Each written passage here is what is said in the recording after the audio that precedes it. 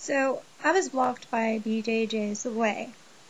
Um, I don't really care because obviously it's his channel and he can do whatever he would like to with it. But I am upset that he blatantly lied about why he blocked me in his video entitled Censorship. I'm sure that anyone who cares enough to go back and look at my comments will know that he's lying. But I, I want to defend myself, I guess. Um, first of all, I never presented him with any questions on his channel. I wasn't debating him on Christianity or atheism or anything like that. I made an offhand comment about his use of LUV in place of love, and when he responded to this by posting LUV on my channel, I pointed out that by doing such, he was behaving obnoxiously and immaturely. Never once did I ask him a question, unless you count a rhetorical question. Now, in his video, BJJ says that he told me that I could message him with questions and disputes then goes on to say that he didn't want to do this and so he warned me that I could not comment on his channel or he would censor me. He's lying. Uh, he threatened me with censorship even before telling me that I could private message him if I would like, because he didn't tell me I could message him until I had already done so.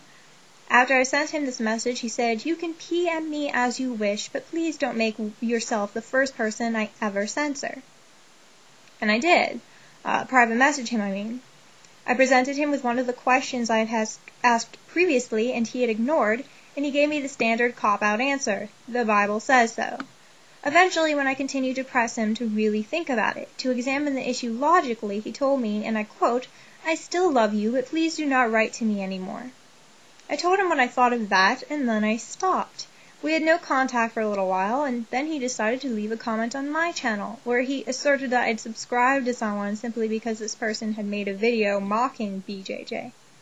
I commented back explaining that no, I'd subscribed because he has various other videos as well, and this is when dear BJJ blocked me.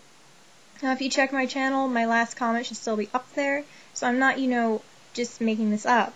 Unlike BJJ, I try to be as honest as possible. Anyway, I plan on continuing to make videos debunking some of the things that BJJ has said, not because I have a personal vendetta against him, but because he's a pretty good example of your typical fundamentalist Christian, and he has a lot of videos, which is convenient and pretty fun.